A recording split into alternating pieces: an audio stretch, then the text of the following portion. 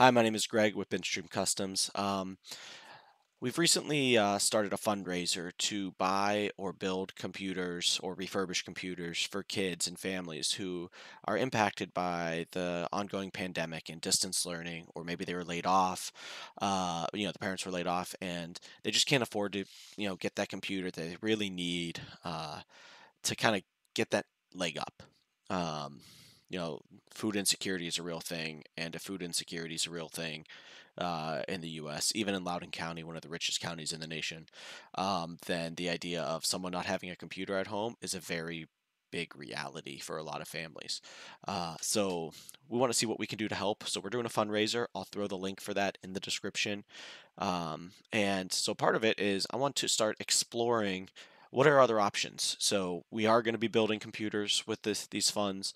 Um, there are college kids who rely on their, you know, their school's labs to uh, get on a computer to do their homework, to study, uh, and now with everything going online, you know, they're being sent home, and they might not have the same resources that they have at school. So we want to make sure that we can give computers to them. Uh, but this is not that video. Uh, this video is exploring another alternative solution, and in this case, the Raspberry Pi 4. Um, I'm not sure if our, my microphone picks it up, but you'll probably hear the fan of it. It is a much lower cost solution, uh, lower performance solution, but a lower cost solution that even if you can't get it from from me or someone else, uh, really anybody should be able to do at home to you know for $150 be able to display something on their screen with a camera and participate in their online classes. So let's get to it. Let's talk about what we're looking at, what we bought, and how it performs. And you'll see that I have a laptop here uh, already in a Google Hangout or Google Meet. Uh, I have the desktop already up on the big screen, but I'll be uh, switching to it. So let's start talking about first what we bought. Um, so it is the Labist starter kit for the Raspberry Pi 4. And the reason we went with the 4 and not the Raspberry Pi 3 is the upgraded processor uh, mostly. Uh, so you get four large cores, you know, A72 cores, as opposed to I think A53 cores in the old one. Uh, so this is a much faster processor. Uh, it's going to give you better performance, and it really is the bottleneck of the system. Uh, and the Raspberry Pi 4 comes in three configurations. So you have a 2 gig, a 4 gig, and an 8 gig. And so I bought the 8 gig to give it the best chance of working, figure out what the bottlenecks are, and then decide, you know, can we go with the cheaper option? And it turns out I think you can get away with the 4 gig option, and I'll show you why. Um, it has um, Wi Fi, it has Bluetooth, it has get real gigabit Ethernet. So the old Raspberry Pi 3 only had uh, it had gigabit internet or Ethernet, but it went through a USB controller on the on that bus, so it's really limited to about 300 megs per second, which is still plenty fast, but it's not true gigabit, as opposed to this one, which actually runs on the PCIe lanes of the CPU, so it is at true gigabit speeds. Um, yeah, those are the big differences. The biggest being that upgraded CPU and the ability to get 4 and 8 gig uh, solutions. So let's first pull up what, oops, what we bought. Um, so this is the desktop of the Raspberry Pi. Uh, it can output up to a 4K display. Um, I imagine, you know, the people that probably need this might not have 4K. Uh, all it does is take an HDMI output. So any any monitor TV with HDMI will work just fine. All right, so let's start with the kit we bought. That's the camera module. Here we go. So from Labist Raspberry Pi 4 4 gig. So we bought the 8 gig at $150 but the um, 4 gig with a I think I believe it's 64 gig SD card. Yep, so 4 gigs of memory, 64 gig uh, SD card, I think is going to be the ideal solution. And I've seen this price right here vary between 100 to 115 dollars. So there's definitely opportunities. Here's the coupon uh, to save 30%. So to get it much cheaper. Um, the one thing it does not come with is the camera. So let's talk about what's on this Raspberry Pi first. So right here you'll see uh, that big silver block right there in the middle, that is the CPU. Um, the uh, Ethernet port, that top silver square, uh, you know, I/O is uh, running through that small chip directly to the left of it, and then the USB it has two USB 3. Dot, or 3.0s and two USB 2.0 um, ports uh, is running through that bottom um, microcontroller right there. Uh, you have two micro display port or micro HDMI port outs, so it can do up to two displays. You have a three and a half millimeter headphone jack and a USB-C charging cable, um, and then it has a uh, connection for a ribbon cable for display output as well as camera input. So that vertical uh, connector right there is for the ribbon cable for the camera input and the one on the left is if you had a uh, ribbon cable for a display. Um, but uh, most people are going to end up using the HDMI. And the Labist kit does come with a uh, that top cable right there is the HDMI output.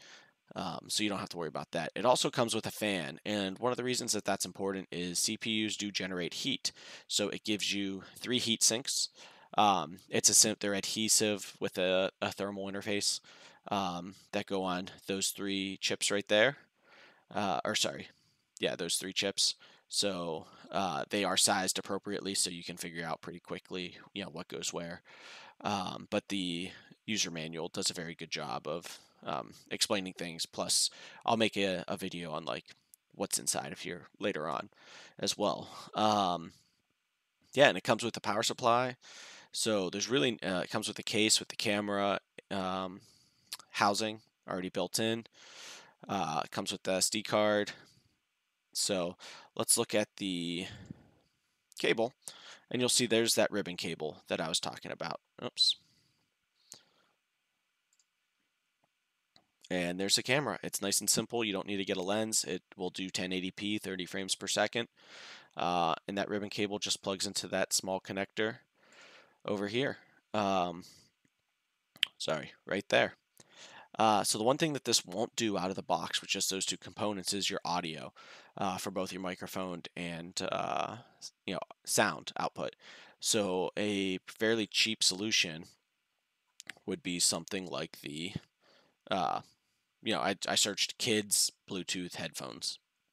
Uh, these have both, you know, audio and a microphone output.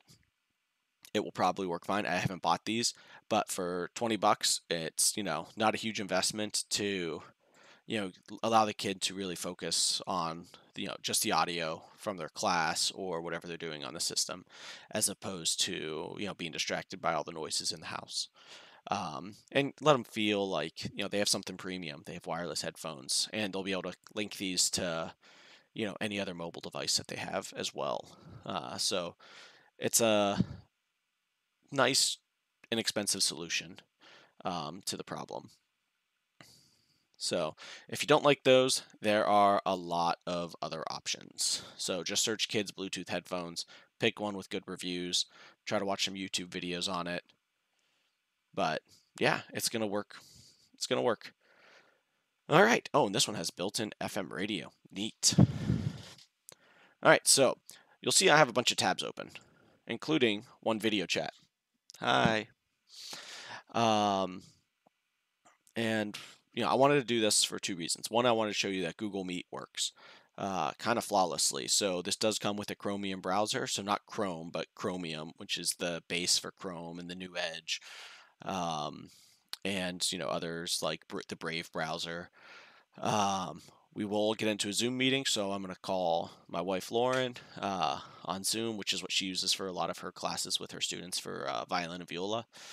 Um, and I will show you a couple other things. So for one, I want to see how hot my CPU is running um, because you know it's rated to run up to 85 C, uh, so 85 degrees C. Well, that's why we have a fan, right? And I kind of want to show you the reason. So we're just going to copy this. We're going to open up the terminal here. And we're going to paste this command in. And so what it's going to do, like it looks, it's going to measure the temperature. And we are running, I think it says 46. Yep, 46 degrees C, uh, which is, you know, great. Uh, the CPU is not going to have any problem at that temperature. Uh, and what we're also going to do is run, and we'll make this window a little bigger. a command called htop. And what it's going to do is show your CPU um, usage, your memory usage, uh, so you have a good idea of, you know, how hard am I hitting the system.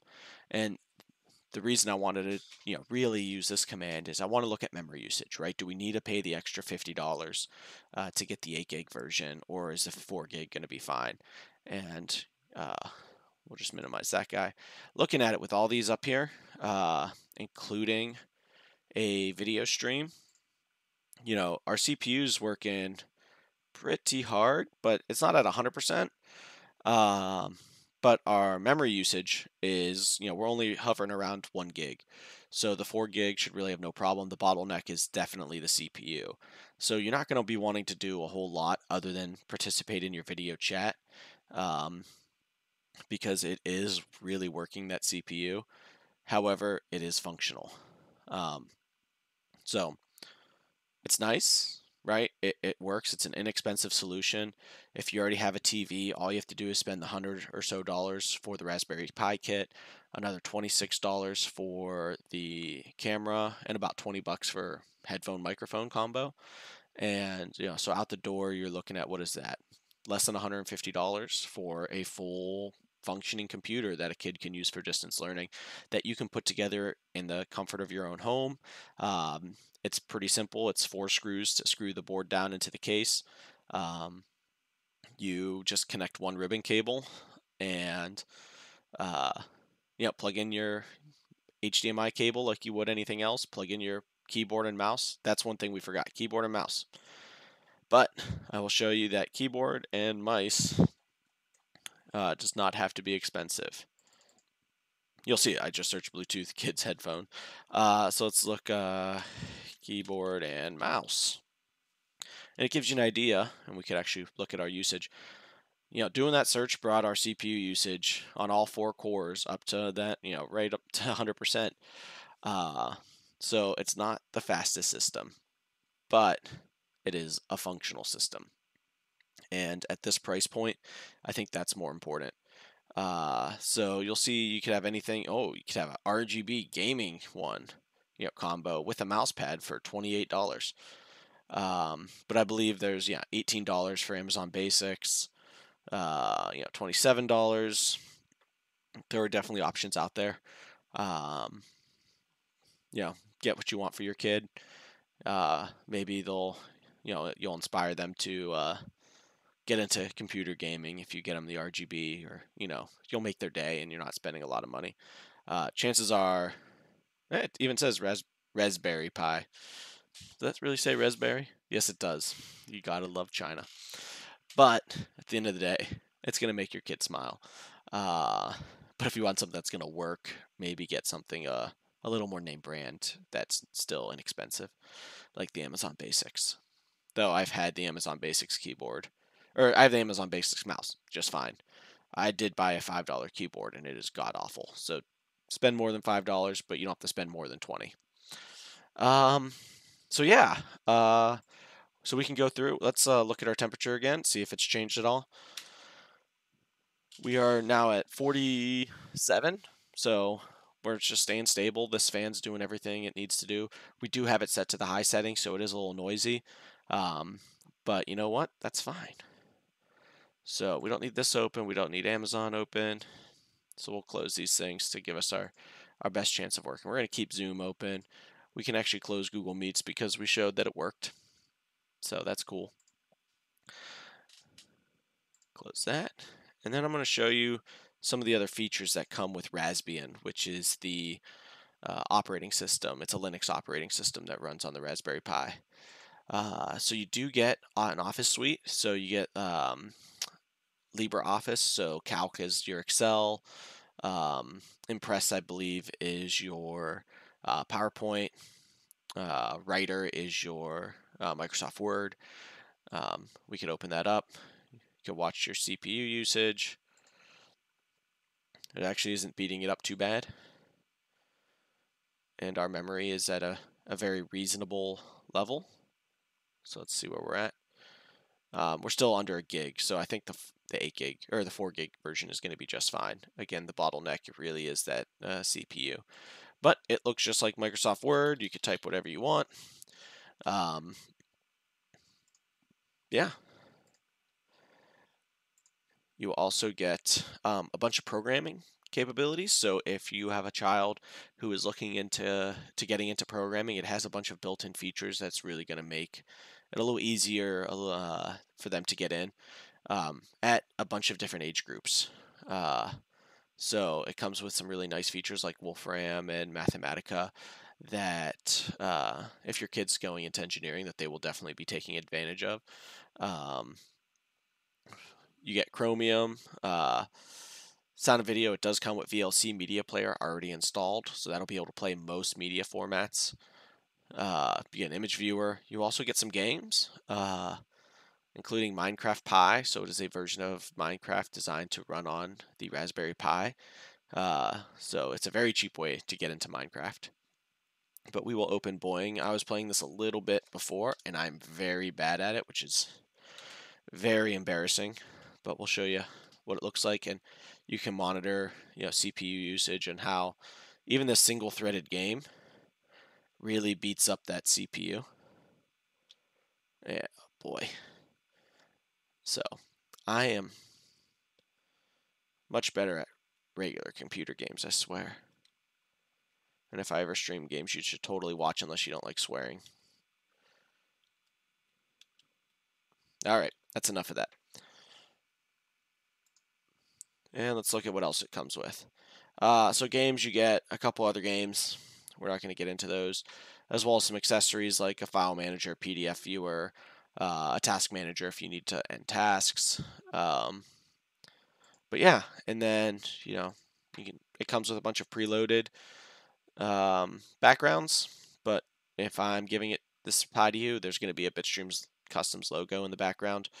Uh, so just be prepared for that because I have to get my logo everywhere but we'll we'll stick with the Raspberry Pi logo because that is really blown up. um, but essentially, that's a Pi. Oh, I didn't actually show you how big it is, so let you look at it. It's plugged in right now, so I apologize. Uh, but this is it, right? So your camera's right there. Uh, this is a fan vent, not a speaker. Um, you have your USB ports and Ethernet port on the top you actually have a mount so you can mount it to like a uh, uh, tripod for a camera. And then on the other side, you have your two um, micro HDMI, your USB-C for power, as well as your headphone jack. And then I just had this sitting on my desk leaning against my second monitor uh, for that video output. But yeah, so I'll uh, throw some Zoom video up here showing you that it works. I'm going to go get my wife, tell her to log in and invite me to a meeting. Uh, as well as I'm going to log into some other um, common, you know, distance learning websites and show you how that looks. So I'll be right back. We'll get Zoom up. All right, so we have the Zoom client up. So uh, let's get to it. I'm going to show you the steps that you need to do because it's not you know, exactly straightforward on what you have to do. Um, not like you would on a normal normal PC. So you get this uh, pop-up for open xdg-open. You're going to want to hit cancel. Then you're going to want to hit join from your browser. You'll be able to select your name. You hit join. Hopefully she hasn't jumped out because she can't actually hear me. The meeting host will let us in. So you're going to see my beautiful wife who is already ready for bed because it is much later than I think she wants me to be doing this. Uh, but I do this for you. So we'll let this load, start my video.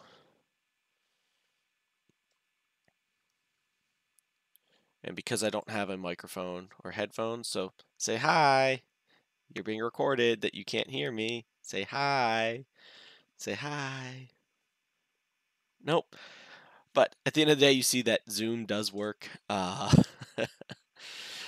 so there you go. Um, from here, uh, let's uh, pull open some of the more popular uh, apps. So we're going to close this. I don't think she wanted to be on camera anymore. Uh, so I'm going to go ahead, I'm going to open up the uh, other web pages. I have to pull them up on my phone, which I use as a camera here. Uh, so we'll be right back. All right, so I have two cousins or three cousins that are elementary school teachers. And so I had reached out and I said, "Hey, when you're doing distance learning, what websites are you using? Are you using?" And I was more focused on the uh, you know video chat. I wanted to make sure that that was going to work. Um, but then they said, "Hey, just so you know, uh, we use these other sites that don't always work on everyone's computers." Uh, or all their browsers. So you should really check those out. Uh, so they said it was iready.org and razkids.com. And I'm glad they told me this because if your kids are using this, this might not be the best solution for you because it looks like both websites do not actually load in Chromium. I don't. Uh, I think they need to be run on um, Edge or even Internet Explorer. Uh, so please keep in mind that this is a limitation or a drawback that you don't have the full functionality as you that you would in a normal PC. Um, so if you know that your child uh, or yourself are going to be using any of these websites that are critical um, to your use case, uh, let me know. I can always run it again. You know, try to log into it on on this one here, um, and we can make sure that it's you know what you want to do is going to work because both in this case, iReady and RazKids do excuse me do not work. So keep that in mind that there are going to be some drawbacks and limitations to uh, this solution, uh, which is a little unfortunate that you know the base Chromium can't load these uh, web pages. But you'll see here um, with them open, uh, we're only at about uh, 500 megs of of memory. Uh, so let me show you what kind of this looks like. So we'll try to load CNN, we'll load Fox News, we'll load Daily Wire will load Amazon all at once. So you'll see that it is not the fastest system. Um, go to Fox News, we'll see how different they all are. Daily Wire is going to be different. And then Amazon just wants you to buy things. The good guy, right? Anyway, uh, so there you go that's about what I got for you with uh, this Raspberry Pi. If you're interested, I can do a build guide. Uh, there are a couple commands you need to run to update it once that once you have it plugged in, powered. Um, it's very, very straightforward, very simple. I am happy to do it. I can give you a, walkthrough guide of how to actually put this thing together. If this is something that you personally want to do, just let me know. Um, but yeah, that's it. Thanks for watching. Please, again, the link for the donation is in the description of the video. I'm going to be posting this to both YouTube and Facebook. So if you have the means to donate, uh, please do. Any leftover funds that we have are going to, you know, is going to be donated to a nonprofit that supports families in the Northern Virginia area. I'm not sure if it's going to be Mobile Hope or if you have suggestions of a good charity that can the uh, remaining funds at the end of this can go to uh, I'd be more than happy to uh, take that into consideration. Uh, the whole point of this is just to just help families. So uh, please share this video. Let me know what I can do to help. If you are a family in need, please don't hesitate to reach out. Uh, we're going to be reaching out to local charities to try to identify families that could use this kind of support. Um, so as we move forward, uh, depending on the funding, we have about $400 raised so far. It's been less than a week, um, and I haven't done a great job of advertising, so I'm hoping this video will help. Um, but at the end of the day, we just want to be here to help the families. Um, I've been fortunate my whole life to uh, not have to rely on this kind of support. My family's always been able to give me what I need for my education, but I know a lot of families aren't that way, especially growing up in Northeast Ohio. Uh, it is not Loudoun County there. Um, there are school districts who struggle to get by on a normal day, let alone uh, during this pandemic. So uh, we are going to be reaching out to school districts there, um, should we have the means to do so, uh, to see if there are families up there we can help as well, because it is near and dear to my heart. But please, please donate. Um, we just want to help. If you are, again, family in need, you know someone in need, have them reach out. Um, and it's not just for kids, you know, college students. If you're an adult, you're out of a job, library's closed, you can't get to the library to use the computer. Um, it's hard to do everything on your phone to apply for jobs.